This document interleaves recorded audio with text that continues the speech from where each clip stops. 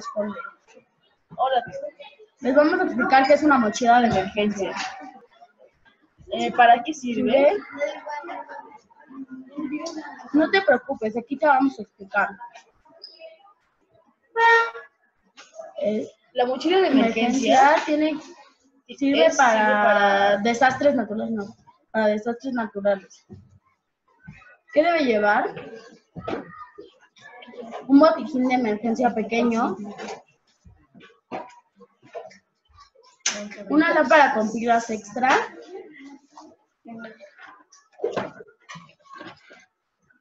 comida empaquetada o enlatada que no se echa a perder fácilmente, mucha agua,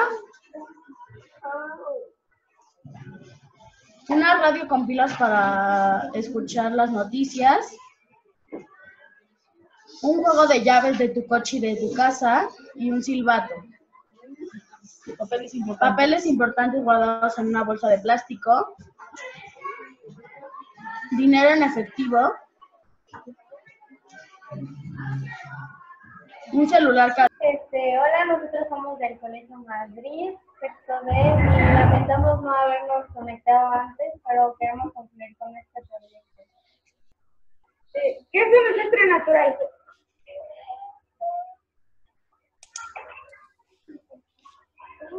Es un desastre natural. Es una catástrofe producida por fenómenos naturales.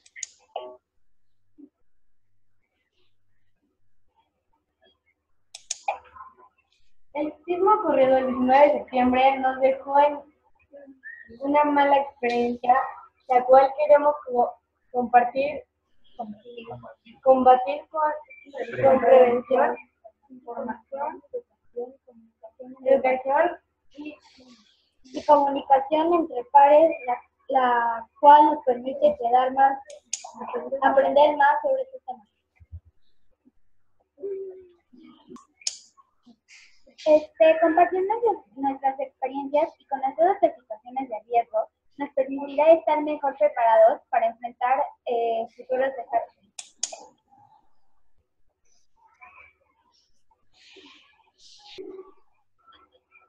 No podemos saber cuándo ocurrirá otro desastre. Otro desastre. Es mejor estar preparados para cada uno de ellos.